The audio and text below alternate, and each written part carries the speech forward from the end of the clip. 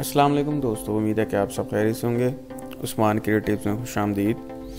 दोस्तों, आज की वीडियो के अंदर मैं आप लोगों को बताऊँगा कि आप किस तरीके से कोरोना का सर्टिफिकेट ले सकते हैं।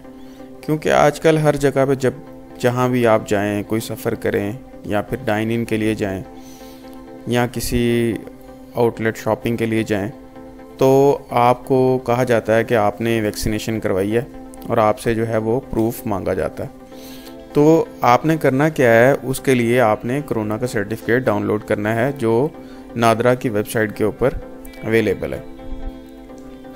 उसका सारा प्रोसेस आज मैं आपको बताता जाऊँगा। आपने क्या करना है? ये सबसे पहले तो names dot NADRA dot G O V dot P K आपने ये वेबसाइट ओपन कर लेनी है। आपका ये होम स्क्रीन आ गई। होम स्क्रीन के अंदर आपने क्या करना है? इधर सबसे पहले आपने जाना है कोरोना का सर्टिफिकेट कोरोना के सर्टिफिकेट में जब आप जाएँगे तो ये आपसे कह रहे हैं कि आपने सबसे पहले शनाख्ती कार्ड या Afghan P O R number ठीक है?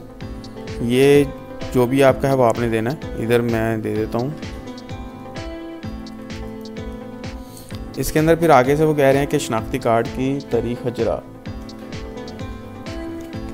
शनाख्ती कार्ड की तारीख हजरा है लिख देनी है, आपने इधर से सिलेक्ट करना है, ये जो कैलेंडर आपके पास शो हो रहा है।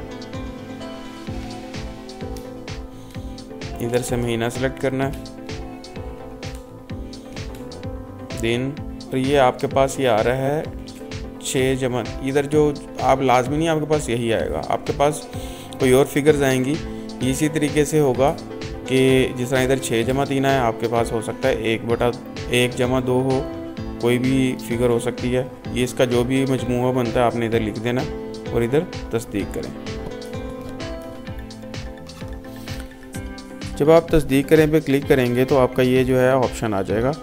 इसके अंदर इन्होंने बताया है कि आपका जो वैक्सीनेशन हुई है, किस तरीक़ों ही है, खुराक आपको कौन सी लगी है, पहली डोज़ लगी है, दूसरी डोज़ लगी है, इसके अंदर इन्होंने अपडेट किया हुआ है। फिर कहाँ से आपने करवाई है?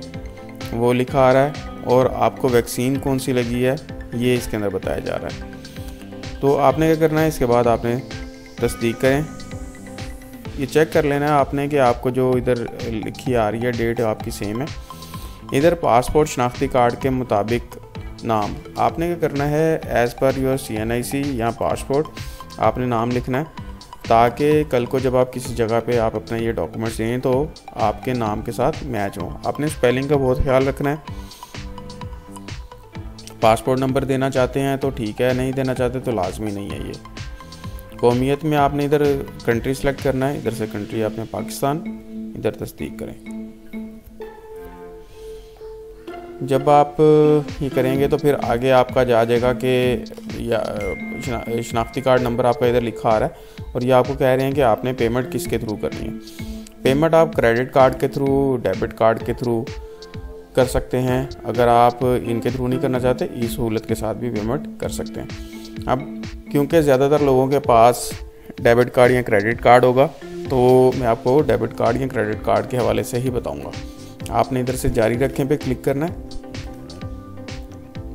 और ये आपके पास आगे जी, ये टर्म्स एंड कंडीशन आ गई, आपने ये फ़ी नॉन रिफंडेबल है जी सारा कुछ सिलसिला। ये इसको पढ़ना चाहें तो आप पढ़ सकते हैं। अगर ये यहाँ पे ये टिक का निशान ना हो तो टिक का निशान आप खुद लगा लीजिएगा। जब तक यहाँ पे टिक का निशान नहीं होगा, तब तक ये आगे फर्दर प्रोसीड नहीं करेगा। Accept and continue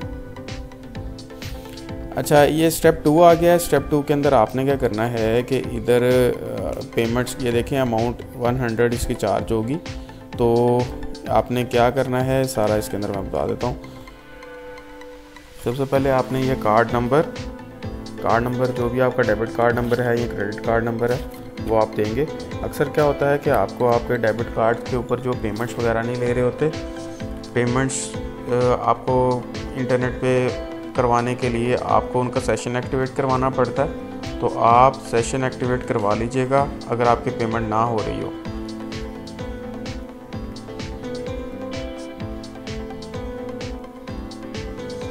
security code security code आपका जो है वो, आपके कार्ड की बैक साइड पे तीन हिंसों का जो है वो लिखा होगा नंबर।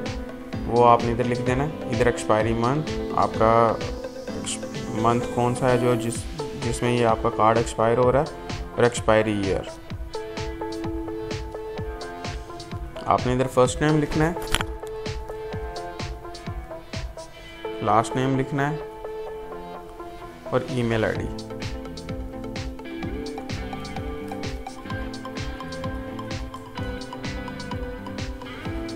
कंट्री में आपने कंट्री लिख देना है।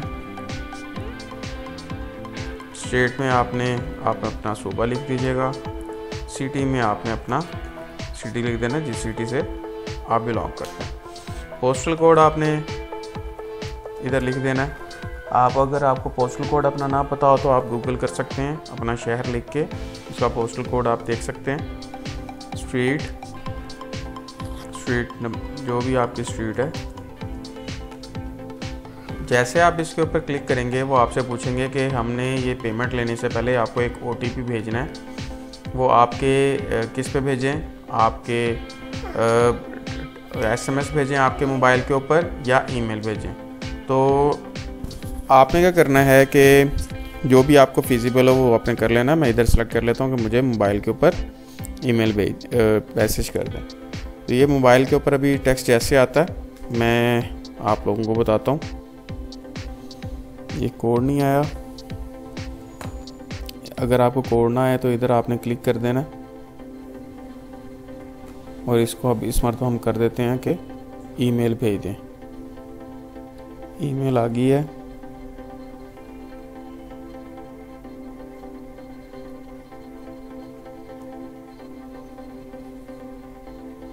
इसको सबमिट किया। ये आपकी तीसरे स्टेप पे आ गया है पेमेंट रिसीट के अंदर। पेमेंट रिसीट के अंदर आपने, ये देखें आपका ट्रैकिंग आईडी आ गया अमाउंट आ गई करेंसी आ गई पेमेंट मेथड आपका क्रेडिट कार्ड आ गया। इधर प्रिंट रिसीट अगर आप करना चाहते हैं तो इधर आप प्रिंट रिसीट कर सकते हैं। हो सकता है आपने कहीं से आपने क्लेम करनी हो। इधर आप प्रिंट रिसीट कर सकते हैं। ये किस तरीके से प्रिंट रिसीट होती है? ये भी आपको जो है ये दिखा देते हैं। ये देखें, इस तरीके से ये पेमेंट रिसीट है ये आपकी। और इधर से आप इसको कंटिन्यू करें। कंटिन्यू आपका ये चौथे स्टेप पे चला जाएगा। ये आपकी दोबारा जो है वो रिव्यू इन्फॉर्मेशन जितनी भी आपने इन्फॉर्मेशन दी हुई है, वो आप इसको दोबारा रिव्यू कर लें। क्योंकि एक मरतबा जब ये हो गया तो दोबारा इसके अंदर एंट्री नहीं होगी। अंदर करें पे क्लिक किया। और अब आप आगे स्टेप नंबर फाइव पे। बर कर हम नीचे दिए गए बटन पर क्लिक करें करके अपना सर्टिफिकेट डाउनलोड करें। इस पर क्लिक करें।